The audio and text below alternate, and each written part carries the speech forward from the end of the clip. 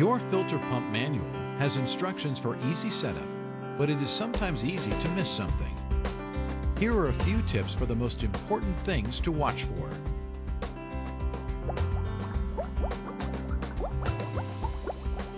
If you are adding accessories, you can check the total amperage by adding the amps per accessory. On the side of the filter tower, you will find the amperage on the silver label.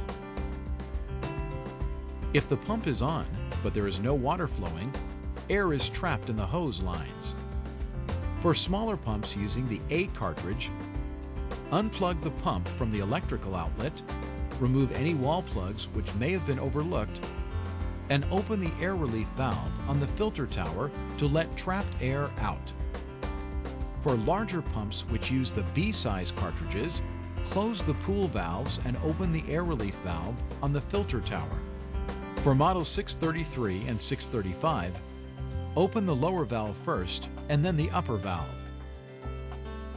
You may have to shake the intake hose up and down to allow air to move out through the valve. Model 633 also has an air relief valve over the connection on the motor housing which can be opened to allow air out. Before opening the filter pump to check your filter cartridge, it is important to first turn off or unplug the filter pump and either close the valves at the connectors or if your pool does not have valves, plug the connector holes with wall plugs. If filter cartridges are not available locally, you can order them by contacting Intex Consumer Service directly.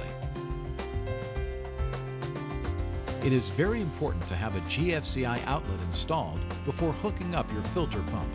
The current interrupting circuit in the GFCI is much more sensitive and can save lives by shutting off the electrical flow when it detects a problem.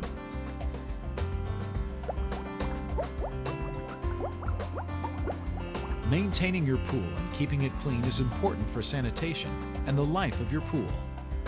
Remember to check the filter cartridge every two weeks to see if it needs to be replaced. First, turn off or unplug the filter pump and either close the valves at the connectors or if your pool does not have valves, plug the connector holes with wall plugs. To make it easy to remove the filter housing collar, gently open the air release valve on top.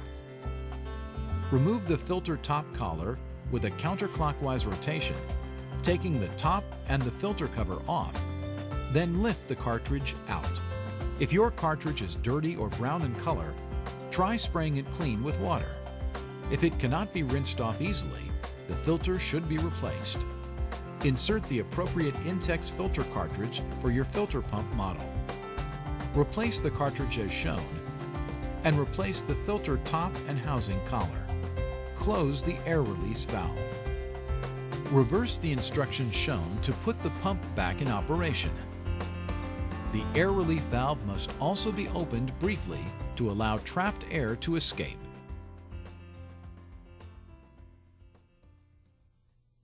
Please make a selection from the menu to access other troubleshooting and maintenance tips.